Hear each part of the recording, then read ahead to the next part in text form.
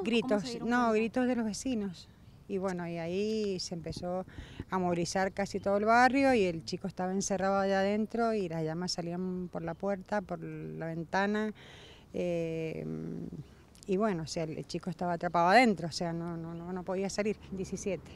Sí, eh, y bueno, y vino un chico no sé de dónde con aquella piedra que se ve allá y bueno, le pegó un- con la piedra a la reja y, y bueno, lo salvaron, sí, ahí nomás lo llevaron al hospital porque es más, está todavía con un poco de oxígeno, está, eh, eh, no está mal, porque gracias a Dios está bien, pero bueno, o sea, sufrió ese monóxido de carbono que bueno, lo tiene que afectado. Estaba solo, estaba durmiendo. La madre no sé, no sé, no estaba. Mira, por lo que me dijo ella recién, parece que había una estufa prendida, eh, la cortina, el viento, y parece que eso es lo que originó el- el incendio. Las pérdidas han sido todas ahí en la cocina, sí, heladera, televisor, mesa, silla, eh, bueno, todo lo que ellos tenían ahí.